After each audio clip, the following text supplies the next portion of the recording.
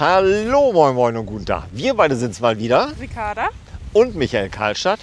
Ja, wir besuchen heute die Forellenteiche Aalen. Genau, ich bin das erste Mal hier. Und ich bin schon öfter hier gewesen. Es gibt auch eine Forellensee-Vorstellung von mir über diesen Teich. Und wir wollen heute mal den Portionsforellen nachstellen. Bleibt dran.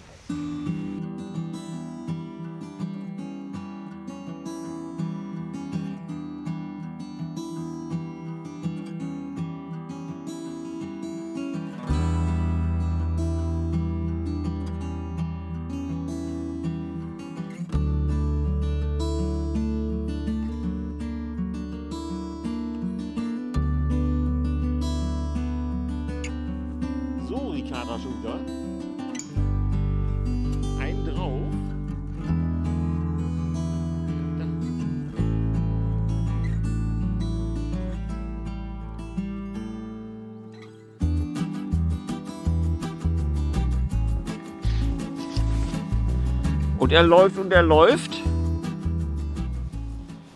Einmal die zumachen. Und Fisch.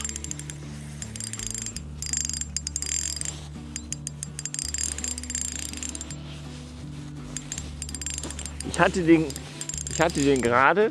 Ich habe gedacht, die Fische sind tief. Sind sie aber gar nicht. Die sind relativ hoch. Ich habe hier ein zwei Meter langes Vorfach dran und habe eben gerade so 70 Zentimeter über Grund gehabt. Keinen Biss bekommen. Jetzt habe ich so zwei Meter über Grund. Ja, Fisch. Da kommt er.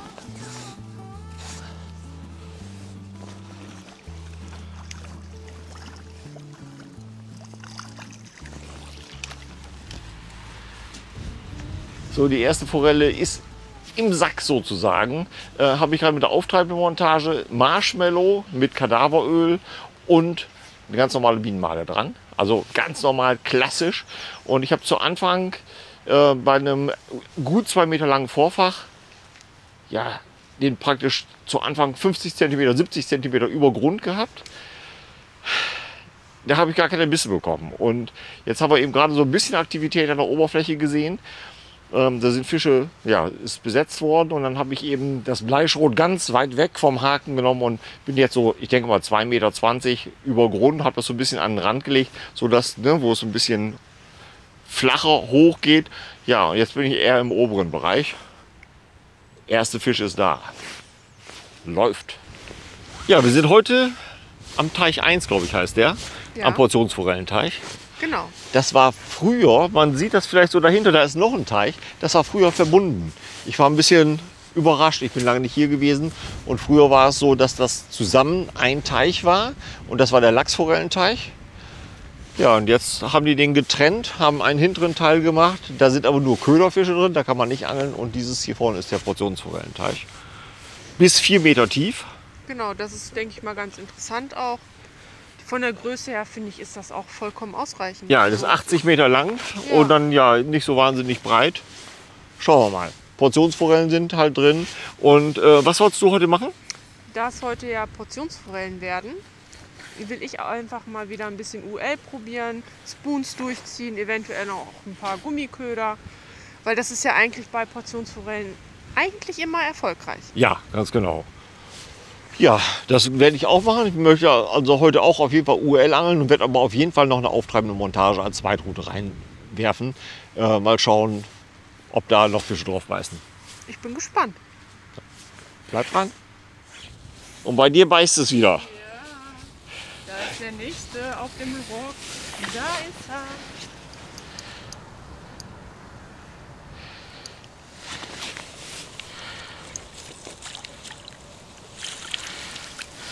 Also wirklich schöne, kampfstarke Portionsforellen. Ja.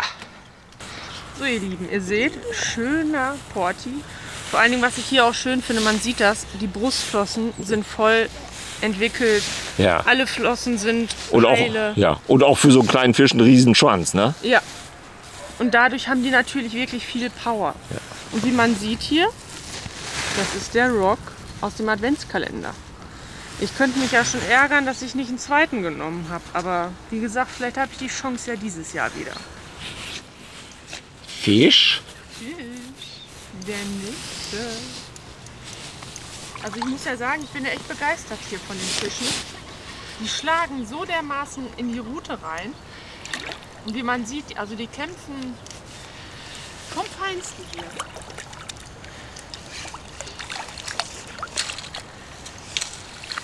Ja, ihr Lieben, da seht ihr wieder, das ist wieder der Rock. Der hat, ist vorne weiß mit einem kleinen Punkt, mit einem roten. Und von der Rückseite ist er schwarz. Der scheint wirklich super zu laufen heute. Und wie man sieht, auch wieder der Fisch makellos, die Brustflossen alleine. Also ganz tolle Tiere hier. Hier komme ich öfter hin. Ja, UL, du hast ja ein paar Fische gefangen mit dem, Genau. Mit dem Rock mit dem Rock. aus dem genau, ja. Adventskalender. ja, genau.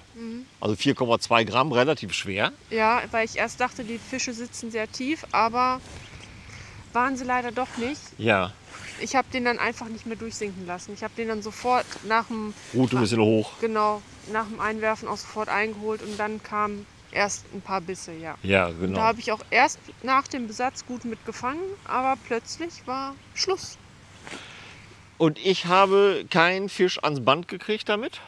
Also- Komischerweise. Ja, komischerweise. Ich habe äh, den Rock allerdings nicht ausprobiert, sondern es, manchmal ist es tatsächlich eine Sache, dass man äh, den richtigen auch nehmen muss. Ich habe äh, verschiedene andere probiert. Ich habe es erst mit dem ganz kleinen probiert, äh, mit dem Fly. Ich habe es mit dem Hammer probiert. Ich habe den Dragon dran gehabt, also unterschiedliche. Aber irgendwie habe ich nichts dran bekommen und habe dann ja einmal komplett äh, umgeschwenkt und habe meine Spoonroute zur Seite gestellt und habe meine Posenroute rausgeholt, meine Tremarella-Route. Eine 1er Excalibur, äh, eine 3 Gramm Pose, das reicht ja an so einem Teich hier völlig aus, aber jetzt wird es auch richtig Ja. windig, ne? Man merkt, ist eigentlich den ganzen Tag schon ziemlich windig. Ja, Aber ja, da müssen wir jetzt durch. genau. Mit der 3 Gramm Pose muss man dann so ein bisschen gucken, da ist zweieinhalb Gramm Blei unten dran, muss man so ein bisschen gucken, wirklich, ähm, wie man wirft, weil gegen den Wind äh, wirft man nicht weit. Nee, das stimmt, aber muss man hier zum Glück auch nicht. Ne? Ja, genau. Schauen wir mal, wie es wird. Ja.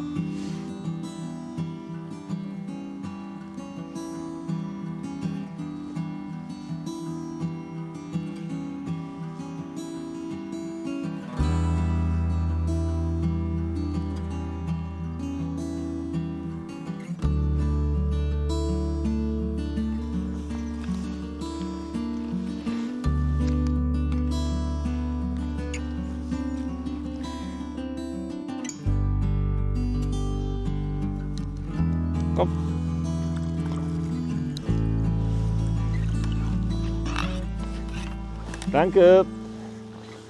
Da ist er.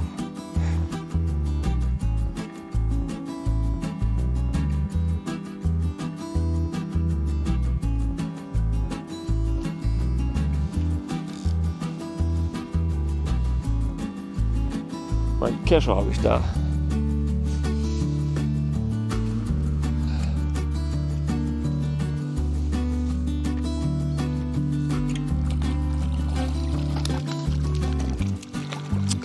Komm schon.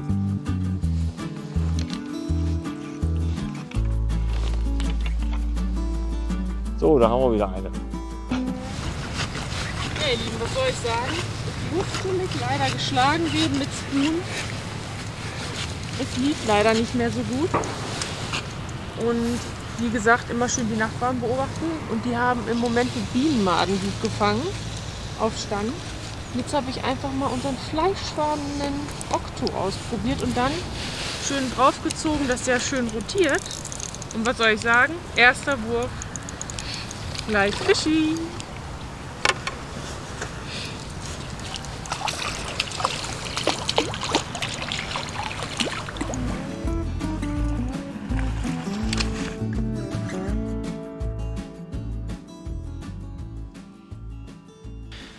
Das ist unser Okto.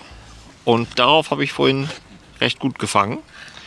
Machen wir so einen nochmal dran. Die sind schon so ein bisschen vorgeformt. Und wenn man den dann entsprechend aufzieht, dann bewegt er sich eigentlich wie Teufel.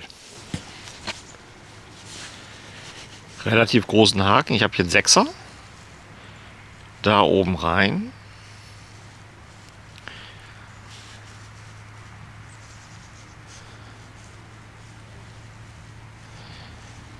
Dann nicht ganz durchziehen. sodass er so ein bisschen diese gekrümmte Form behält.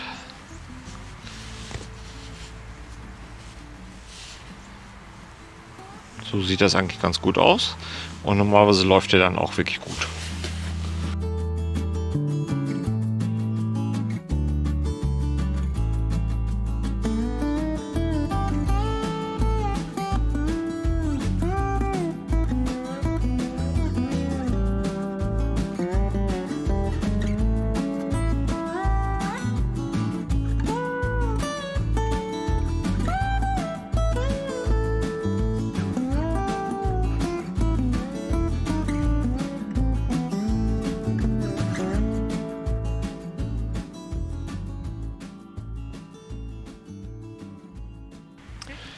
Wenn man so ein Okto aufzieht, muss man auf jeden Fall kontrollieren vor den eigenen Füßen, ob der richtig vernünftig läuft.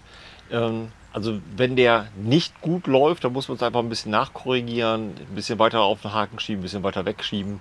Ähm, der läuft wirklich hervorragend, wenn man ihn gut aufgezogen hat. Wenn er nicht läuft, fängt auch keine Fische. Ja, er nimmt, er nimmt, er nimmt, er nimmt, er nimmt. Und hängt.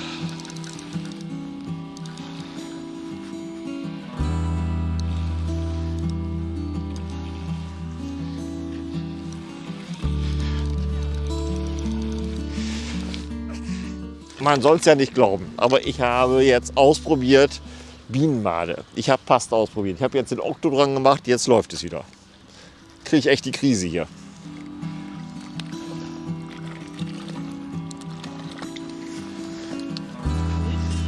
Danke sehr. Da ist er.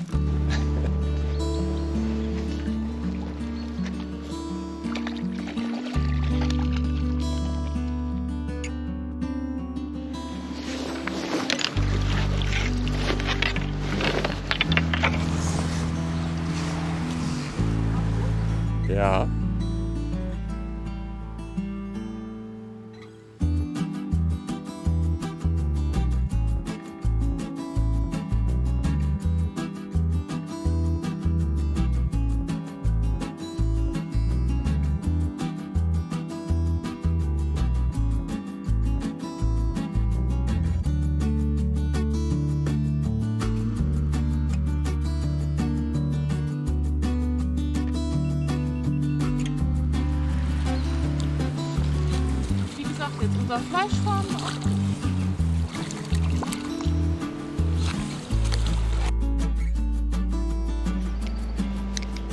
Stopp.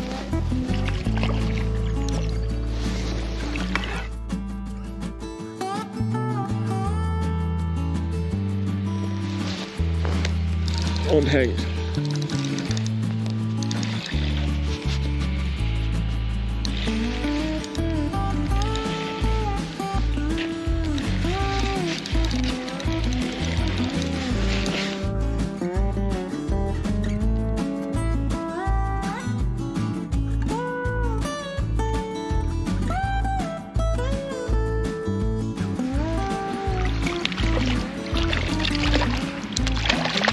Ja, wie war's? Gut. Es war interessant. Also die Fischqualität hier ist echt super, muss ich Ja, sagen. ja. Die machen auch Toll. unheimlich viel Spaß für Ja. Portionsforellen. Ja, Ich würde sagen, erfolgreich waren wir eigentlich auch. ja. Da Kann können man, wir uns nicht beschweren. genau. Außer uns war noch ein Angler hier an dem Teich. Hinter uns, das ist jetzt der, der Lachsteich. Das war früher mal der Portionsforellenteich, ist jetzt der Lachsteich. Da waren ein paar mehr Leute dran, das waren vier, fünf oder sowas. Genau. Aber an unserem Portionsforellenteich, wie gesagt, war nur noch eine, außer uns noch ein Angler da. Ein paar Fische haben wir bekommen. Ähm, ich fand's, also wie gesagt, ich habe auf Blech nicht mal einen Anfasser bekommen. Also du hast ja ein paar Fische gehabt und hast aber auch äh, viele Fische verloren. Genau. Also man hat es gemerkt, die haben halt sehr doll reingebissen, aber nur spitz. Deswegen sind die, Ja. ich glaube, drei oder vier Fische habe ich wirklich verloren, Ja. weil die ausgeschlitzt sind. Ja. Also es war schwierig und es war wirklich direkt nach dem Besatz habe ich viele Bisse bekommen und auch ein, zwei Stück gefangen, aber dann war es tot. Ja, bei mir war es so, dass ich dann ähm, umgeschwenkt bin auf meine Posenmontage auf meine Trebarella-Route. Ähm, habe dann mit Bienenmade habe ich äh, einen Fisch gefangen noch, mit Pasta habe ich auch noch einen Fisch gefangen. Ähm, erfolgreicher wurde es aber erst, als ich dann den Okto dran gemacht habe. War mit dem Okto dann wirklich äh, deutlich besser. Also ich keine Ahnung warum, aber äh, das war irgendwie das Rotationsverhalten war eigentlich wesentlich besser. Es wäre vielleicht ganz schön gewesen, mit Bienenmaden, aber es war so kalt, dass die Bienenmaden nach äh, zwei, drei Würfen in dem kalten Wasser, also wir haben wahrscheinlich 0 Grad oder sowas, also wirklich richtig kaltes Wasser, da waren die so schlapp, dass sie dann auch nicht mehr ordentlich drehten und das ging natürlich mit dem Okto viel besser als mit den Bienenmaden. Ja, und deswegen habe ich auch später auch gewechselt auf dem Okto und wie gesagt, erster Wurf gleich sofort einen Fisch gehabt. Ja. Wie gesagt, der dreht sich einfach ganz toll, Ja. muss man auch ganz ehrlich Ja, sagen. ja, Der ja, kommt ja. der natürlichen Bienenmade einfach sehr nah, Ja, finde ich. genau. Und die Fische nehmen es gut an, wie man Ja. sieht. Und die schlucken den auch. Also äh, ja, die sagen nicht, also so beißt nicht so spitz, wie das zum Beispiel bei einem Blech ist, sondern äh, die nehmen den auch wirklich. Es war drüben der andere Angler, der hat mehrere Fische gefangen mit einer normalen Pilotkugelmontage und einer Bienenmade, die er einfach durchtreiben lassen hat. Ähm, das, damit war der erfolgreich. Das würde ich beim nächsten Mal auch machen. Also einfach wirklich noch oben oberflächennaher angeln. Aber das war jetzt das erste Mal für uns hier am Teich. Ja, da wird es manchmal schwierig. Ja, aber ich finde, dafür haben wir es gut gemacht. Ja, genau, dafür war es in Ordnung.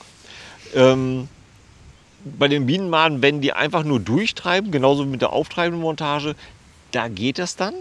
Dann ist das nicht so wild, wenn die so schlapp sind. Aber wenn man damit wirklich Trebarella angeln will oder äh, so die anködern will, dass sie vernünftig rotieren, dann geht das mit den kalten Bienenmaden aus dem Wasser wird das echt schwierig. Also das ist, äh, wie gesagt, so zwei, drei Würfe und dann den Köder wechseln und so. Fand ich jetzt nicht so spannend. Deswegen haben wir da dann eben gesagt, äh, aufs Gummi wechseln. Und das war, ja, wie gesagt, war erfolgreich, war gut. Vielen Dank fürs Zuschauen. Ich würde mich darüber freuen, wenn ihr am nächsten Montag wieder einschaltet und wenn ihr am nächsten Donnerstag wieder einschaltet und guckt und guckt auch auf meinem Facebook-Profil vorbei oder auch bei Insta. Äh, unter Mike's Big Trouts findet ihr mich da, nicht unter Michael Karlstadt. Michael Karlstadt ist meine private Seite bei Facebook. Und darauf werde ich nichts mehr posten in Zukunft, sondern nur noch unter Mike's Big Trout. Das ist einfach meine Seite und da findet ihr mich auch. Bis dann. Ciao. Ciao.